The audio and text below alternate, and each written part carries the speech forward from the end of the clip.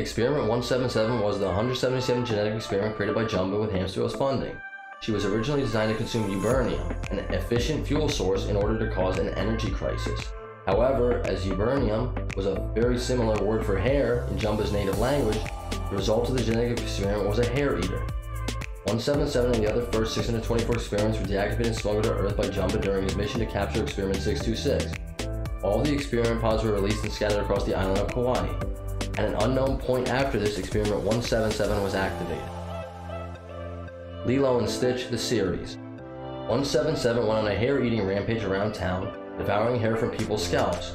Lilo and Stitch later discovered 177 and were able to capture her in a hat box outside the hotel before Gantu could.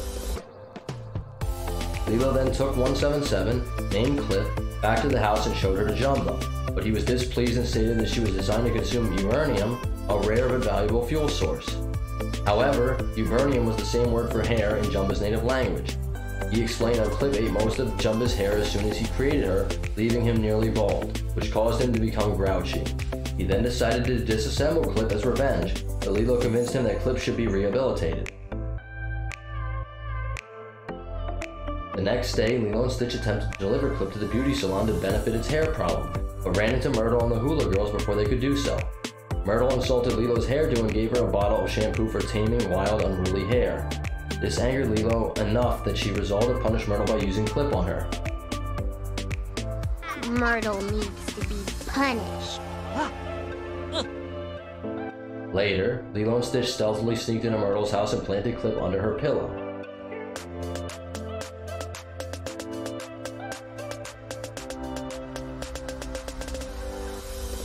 That night, however, Myrtle was at a sleepover, so Clip ate the doll's hair instead, which tasted nasty.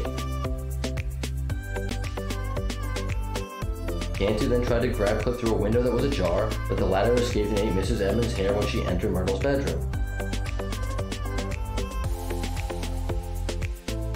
After evading Gantu, Clip hitched a ride on a bus where she devoured all of the passengers' hair.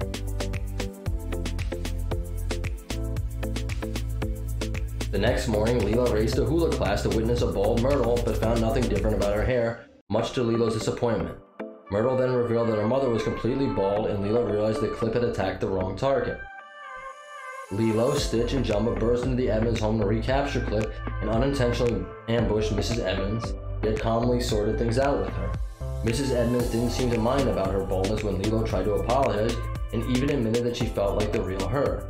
She also complimented Jumba's haircut, and his afro unexpectedly grew back, much to his delight. I have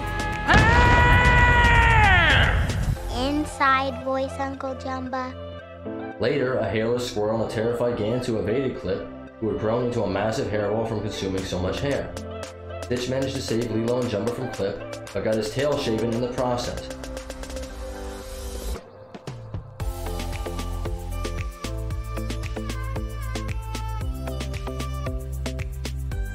Gantu tried to outrun Clip, but tumbled down a hill and onto a small stage where a hula demo was held.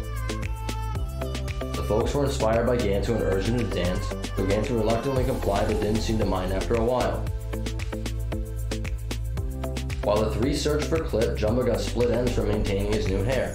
Lilo offered him the shampoo she got from Myrtle and figured out how to tame Clip, deducing that the latter struck the beauty salon next.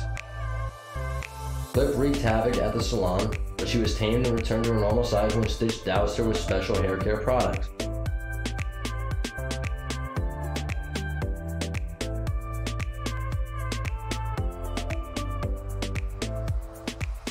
Shortly after, Clip found her one true place in the salon as a hairdresser, where she gave people the perfect haircut that captured the real them. Jumba then decided to get his afro cut and told Clip to do her stuff. After she trimmed Jumba's afro, the latter was given back his normal free hairs, which was how he liked it. Elastico. Clip reappeared in Elastico as one of the audience members for Lilo's hula dance. Checkers. Clip was one of the experiments in checkers that joined Stitch in a rebellion against Gantu. Leroy and Stitch, the movie. Clip was seen early in the movie giving Victoria a new hairstyle as Lilo was making her rounds with Scrum to make sure all the experiments were happy in the one true place they belong. Later, the first 624 experiments, including Clip, were rounded up by Leroy and taken to a stadium to be destroyed. However, Lilo, Stitch, Jumba, Pleakley, Reuben, and Gantu arrived before the experiments could be destroyed. Clip participated in the following battle between the experiments and the Leroy clones by eating Leroy's fur and thus embarrassing them. However, the Leroy soon gained the upper hand in the battle, were defeated when Lilo, Stitch, Reuben, and several other experiments performed the song Aloha Oe, which caused the Leroy army to shut down due to a failsafe mechanism. Special abilities. Clip can use her sharp claws to safely cut off all of the victim's hair in seconds, which she will then eat. She is able to roll into a ball, like Stitch, and glide. She converts the hair she eats into her own, which causes her to grow slightly with each feast. She also has the talent to envision the most fitting haircut for any organism, as well as cut and style it. Weaknesses. Much as Clip likes to eat hair, she seems to dislike certain kinds of hair, but she expressed disgust at eating a doll's hair when she was planted in Myrtle's bedroom as part of a failed prank. Ew! Chemicals in certain shampoos and hair conditioning products, especially in hair lotions used for taming wild and unruly hair, can restore Clip to her normal size as well as tame her. I've never heard of that. Trivia. Clip was activated off screen. Clip is one of the rare experiments to not have black eyes like most experiments, having dark blue eyes instead. Clip is one of the very few experiments we have physically seen created by Jumba. Clip expressed disgust at eating the hair of one of Myrtle's dolls, implying that she dislikes synthetic hair or cellulose-based fibers. It is unknown why Clip pursued Gantu while she was a giant hairball, considering the fact that Gantu had no hair on him whatsoever. Clip's weakness to wild and unruly hair taming conditioner is similar to Plute's weakness to natural air freshener.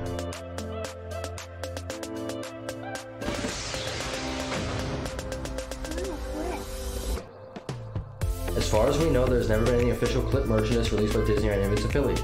However, thanks to some wonderfully creative people at Etsy, we were able to have one custom made. If you enjoyed this video, please smash a like, subscribe to the channel for more Lilo Stitch videos, leave a comment down in the comment section with who is your favorite experiment and which one you'd like to see us do next. Until next time, aloha!